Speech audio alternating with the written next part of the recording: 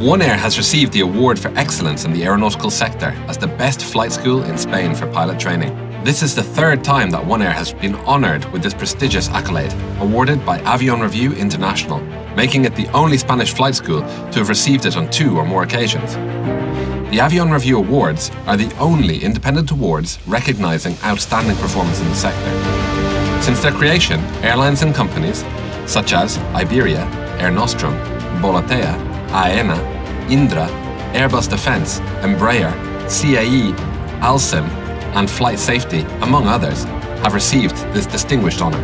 Avion Revue, the most important Spanish language aviation magazine in the world, has awarded the Aviation Training Award to Malaga's official pilot training centre, One Air, in 2020, 2021, and now 2024.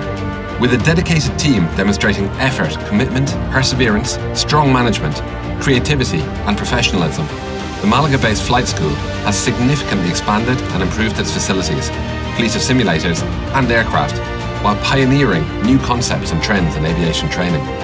One Air once again confirms its position as a global leader in pilot training.